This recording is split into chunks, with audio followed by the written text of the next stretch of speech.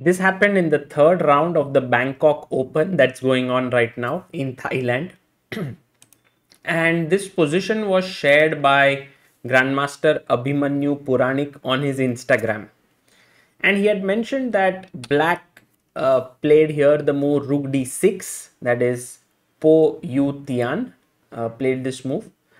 And it is Gustafsson's move, white to play and win and you know, generally when a strong GM shares any position from a recent game, it is definitely worthy of attention, especially someone who's about 2600. Because if it is normal move, they wouldn't be sharing it.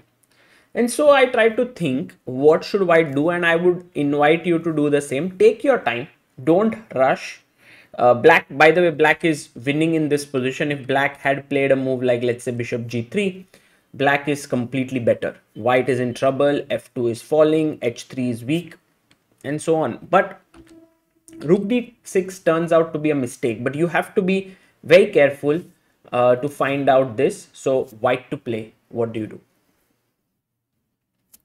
So the first move here is the very very nice one uh, rook c8 and it's not so tough. You give a check to the king and you force it to move only one square is available that is king g7 because if you were to play king h7 I take this with a check.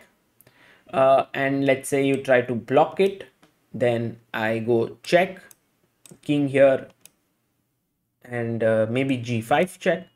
Because if king takes there is knight f3 check with a fork.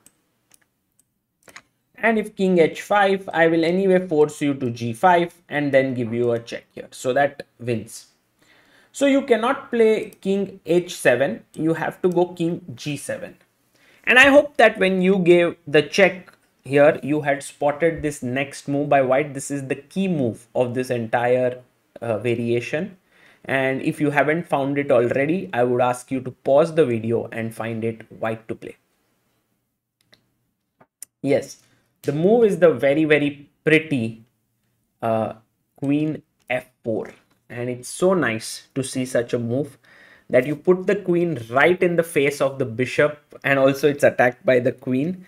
Uh, first things first, you cannot take the queen because after bishop takes f4, what's the move here? White to play.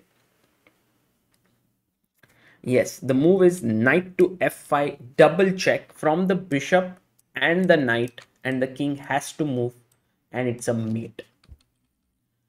So queen f4 is a very pretty move. Uh, you can't take with the bishop. If you take with the queen, I just take back. And now if you go bishop f6, there is g5.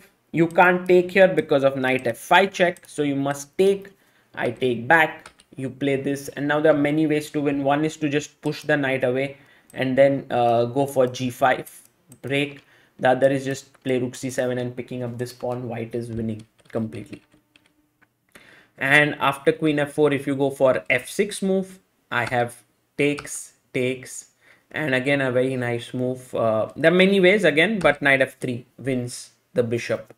Because the bishop is trapped. If it goes to e5 then i just take take and bishop takes e5 wins the rook.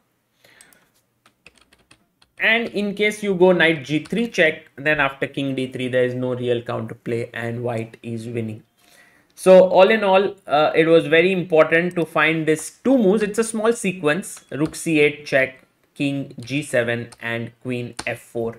And this totally wins the day. I hope you liked it uh, and please do uh, let me know in the comment section if you were able to find it. This is Sagar Shah signing off. Thanks a lot to Grandmaster Abhimanyu Puranik for showing this game.